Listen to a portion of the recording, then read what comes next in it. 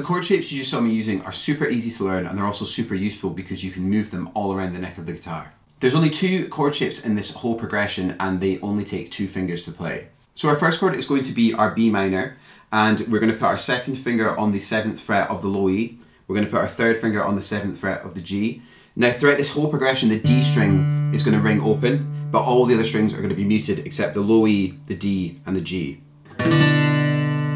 Our second chord is going to be a G and that is going to be our second finger on the third fret of the low E our third finger on the fourth fret of the G string. Again, the D is ringing open, the A, the B and the E strings are muted.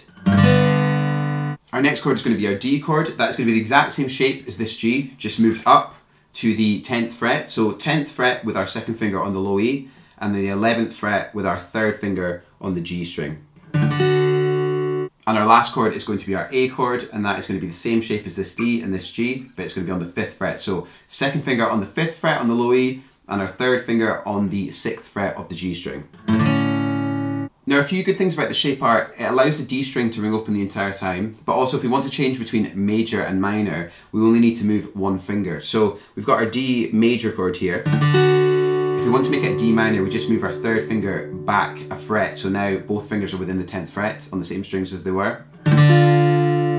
So this shape's really useful if you're wanting to get away from just playing your standard chords in D major down the bottom of the neck. So you can see here we've got a D, a C sharp, a B, an A, a G, an F sharp, an E, and then back to D. If you enjoyed this quick video, give it a like, subscribe to the channel, and I'll see you in the next one.